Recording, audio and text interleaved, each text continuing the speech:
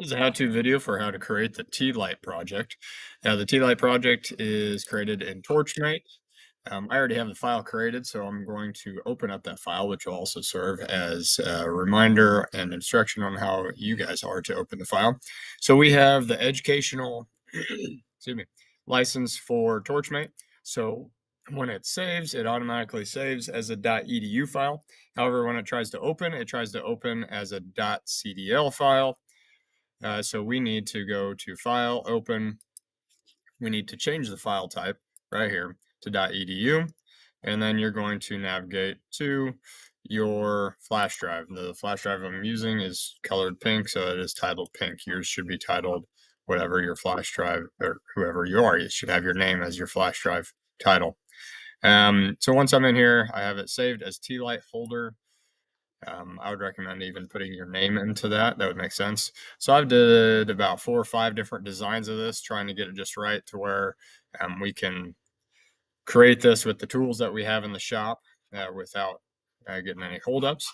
So uh, just as as a heads up for you guys, don't complain when you have to do things more than once. Um, sometimes you just have to do that to get it just right. So what we're looking at here, uh, this is my final uh, draft. And here's my cut path. So I clicked on this. So this cut path is already created. I've already created this entire design here. Um, but this is what we're looking at. So uh, when it's all said and done, you're going to have um, a little tab at the bottom here. So where it comes, drops down and comes back up a little bit, and then it drops down and comes back up a little bit, all the way across. All four of these have that. This is a little shelf or a ledge that is going to be used for um, this bottom to be put on there. We have a gap in between here, in between these two uh, rectangles. This gap serves uh, as a lineup mark or identification mark for us to be able to bend it without having to measure uh, a bunch over at uh, the metal bender. Um, and then we have the little tab on the outside and then on the outside, and that is a spacer. Uh, once this thing comes together and it's a full square, um, that serves as a spacer so there's not big gaps in between one side to the next side to the next side. Okay, so that is that. I'm going to go back to the normal mode, which would be the drawing mode. I'm going to go back up to this one because this is where uh, I have everything laid out. I will separate this from the previous design for you a little bit. Well, to start with, go up to the top, show you the measurements. I'm going to get rid of that old design there. I don't need that into it.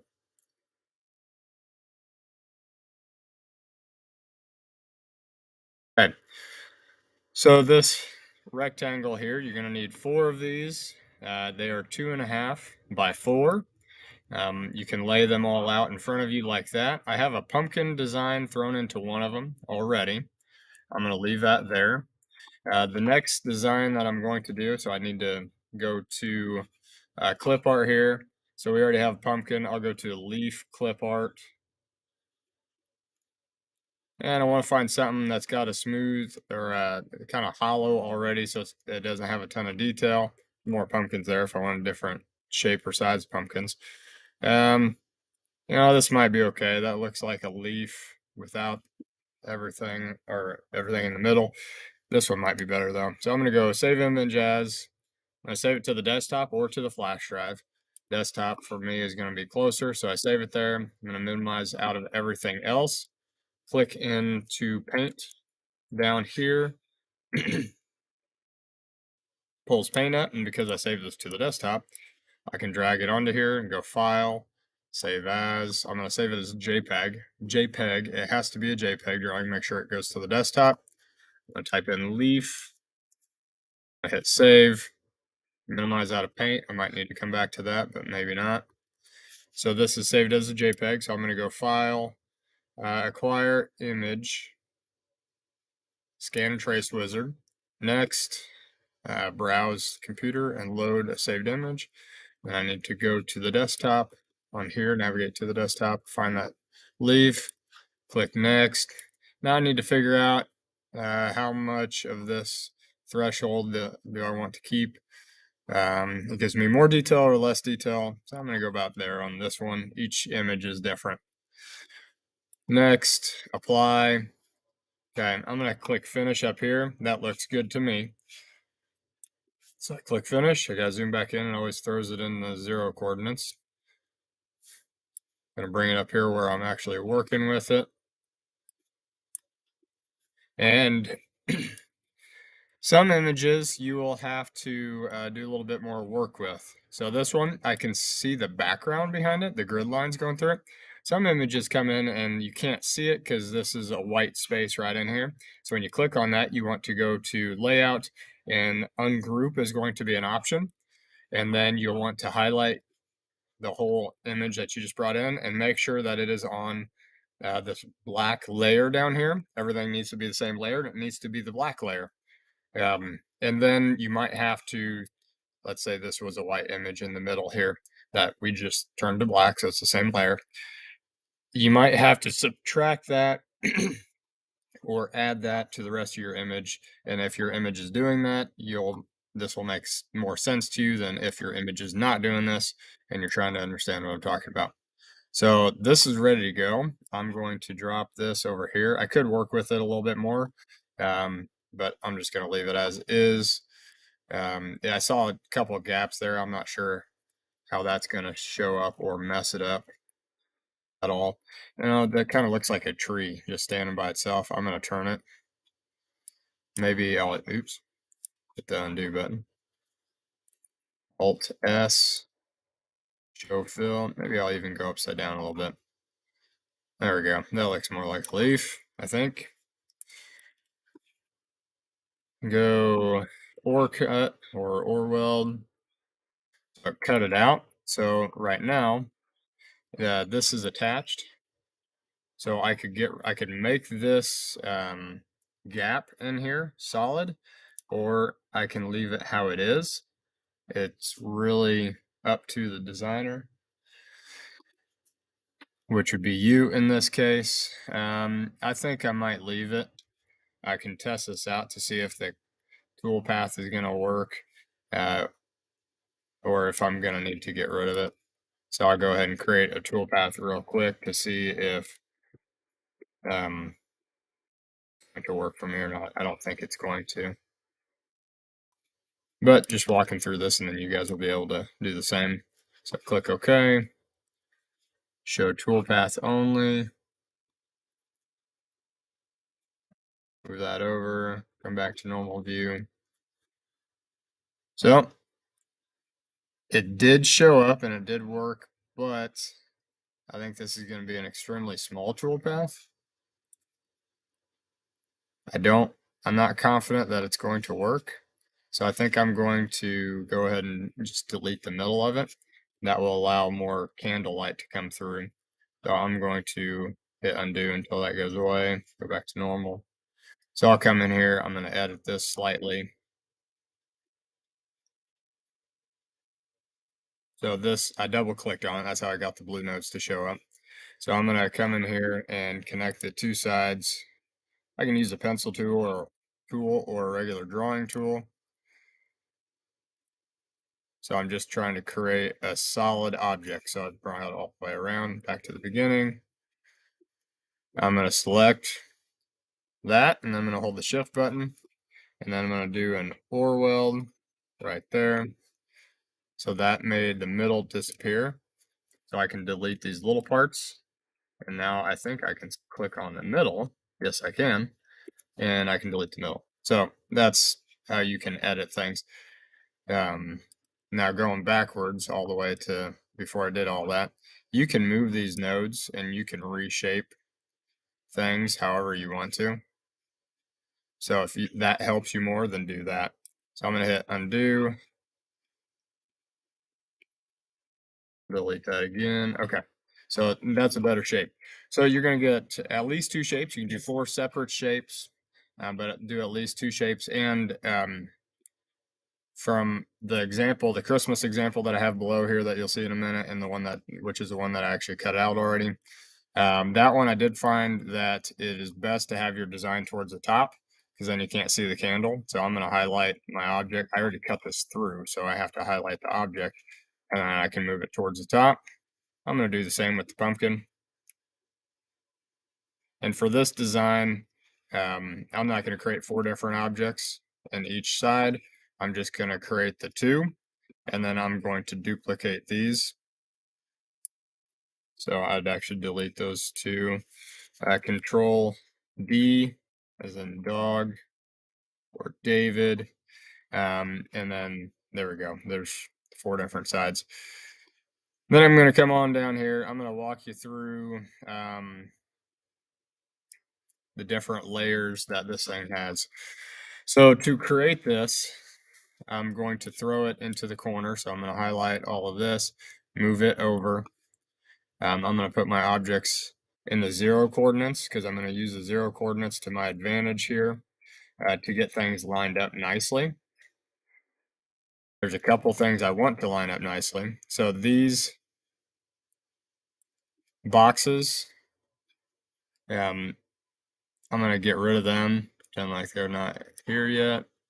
This object, so the big rectangles, that's really what I want in the zero coordinates to start with here. And then we can start creating all these other things, but I'll go through this first, the small pieces. So I have the tab on the left side here. This tab, and it's the same for uh, several other ones here. This is 0.12 wide, and it's three and a half tall. My squares are four tall, so that gives me a quarter inch here, quarter inch difference, and a quarter inch up at the top. I don't need to need I don't need to know the top I'm going to click on the bottom and I'm going to put the Y position at uh, 0.25 and it just jumps up. Okay. And I need to make sure that it's overlapped just slightly. So if I zoom all the way in here, I can see that there is a gap. I don't know if that'll come through on the video, but I'm going to hit the uh, arrows to move it over a little bit. So now it's overlapping, so I will be able to weld that together. And then I come in here. This one is also 0.12 and is uh, 3.5 uh, wide, and I'm going to put it at y coordinates to point or 0.25. So that way it's the same distance. This is important that this is the same distance from the bottom. Uh, this one over here, this one is 0.2. So this one is wider. This is important that this one is wider. And but it is 0.25 from the bottom and it is uh, the same 3.5 tall. Okay. And you're going to do that exact same thing for the second side. So if you need to, hit the rewind button and get all of that the same. So it's the uh, 0.12, 0.12, and then this last one is the 0.2 wide. Um, your rectangle, if you haven't created that yet, probably not. That's 2.62, 2.62, and that is a square. Um, okay, so now all of those are created. We're going to go ahead and um, we need to attach these bottoms here. So these bottom pieces are 2.25 wide and they're 0.2 thick or tall in this case. So I want to move this, all of this stuff here, now that I got it all set. I'm going to highlight all of it and I'm going to put it in the 0.2 y coordinates. Okay, so it moves it up 0.2. And then I'm going to, actually, it's not point two, it needs to be point one nine. So just slightly less than point two. So that way we get the overlapping. All of these things, I already have them in the right position, but to get the point across to you and save time in this video, I'm going to put these at the zero coordinates. Um, so they're going to slightly overlap. I have a distance and this is just me eyeballing the distance. So this thing being uh, just a little bit less than this, um, I'm just gonna try to center it just by viewing it. But the the y coordinates where you put in the zero, that needs to be set because that is going to bend and it needs to be all equal. However, the left and the right here is not as important. Okay, got that done for all of them. Um, I'm going to highlight everything, control D right now. So that way I have all of this work already done. And I'm going to then highlight it again. I'm going to weld it together. Now I can double check myself, click on the edge. bring it down. If you left anything behind, uh, then you need to make sure that you're working on the bridges. Uh, make sure that you got the bridges created. I'm going to move this one down. I didn't lose anything. Uh, you cannot, when you're checking your bridges, you cannot highlight and then move it because you've then highlighted the bridges and they're going to come, or the, the islands that are in the middle of this thing, and they're going to come with it. So after I move that, I'm going to hit the back arrow command or the undo button. Um, you're going to highlight everything, go back to machine, create the tool path. We are doing an online tool path. Uh, 100% feed rate is the most important thing about this entire process. It will not cut out over there. It'll load, it'll try to cut, but it will not uh, be successful because it will move way too fast. And then I click on the lead in, lead out tab, adjust start point, middle longest segment, click OK. Um, now I can click on the view toolpath only button. It's up here at the top.